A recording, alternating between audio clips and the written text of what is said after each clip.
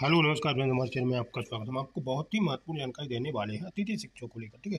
अतिथि शिक्षकों की नियुक्ति और वेतन को लेकर एक आदेश जारी किया गया, ठीक है? वो भी सरकारी आदेश, लोक शिक्षा विभाग की ओर से जारी किया गया। आदेश क्रमांक है सात सौ साठ, ठीक है? चौबीस एक दो हज़ार बाईस को आदेश जारी किया गया है, ठीक है?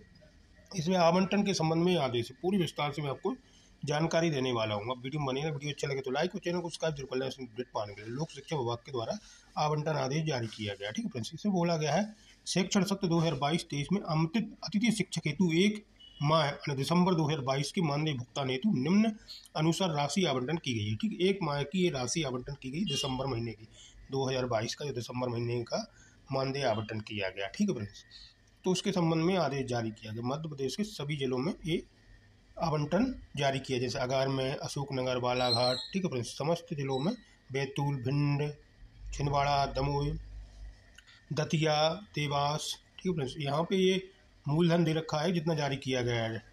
और गुना ग्वालियर, हरदा, होशंगाबाद और इंदौर, जबलपुर, खंडवा, खरगोन, मुरैना, नरसिंहपुर, नीमच, पन्ना निवारी और राजगढ़, रीवा, सागर, सीहोर और ये सिवनी, शहडोल, सीधी टीकमगढ़ उज्जैन।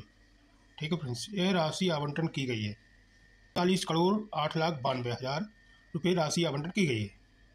तैतालीस करोड़ आठ लाख बानवे हज़ार रुपये राशि आवंटन की गई है। इसमें उपयुक्त आवंटन बजट, ठीक है, शीर्ष क्रमांक है चालीस दो सौ दो दो एक सौ नौ। उसमें बोला गया मद में उपलब्ध आवंटन में अंतरिम किया जाएगा। राशि विकास खंड शिक्षा अधिकारी के डीडीओ कोड में उपलब्ध कराई जाएगी। ठीक है फ्रेंड्स मैंने पहले भी आपको डीडीओ कोड बता चुके हैं कि डीडीओ कोड बहुत ही अनिवार्य रहेगा। उपयुक्त राशि का उपयोग निम्न शर्तों के अधीन किया जाएगा। नंबर एक नंबर एक आवंटन राशि शिक्षण सत्र दो हज़ार बाईस तेईस के लिए आमंत्रित अतिथि शिक्षकों के मानदेय हेतु जारी की गई है। ठीक है, नंबर दूसरा संचालन के निर्देश अनुसार आईटी अतिथि शिक्षक दो हज़ार बाईस तेईस तीन सौ बीस दिनांक तेरह सात दो हज़ार बाईस के द्वारा दिए गए निर्देशों के अनुसार मानदेय भुगतान किया जाएगा। ठीक है नंबर तीसरा, अतिथि शिक्षकों का मानदेय भुगतान ऑनलाइन बिल या जिला शिक्षा अधिकारी से प्राप्त स्वीकृति के आधार पर किया जाएगा। ठीक है, तीसरा।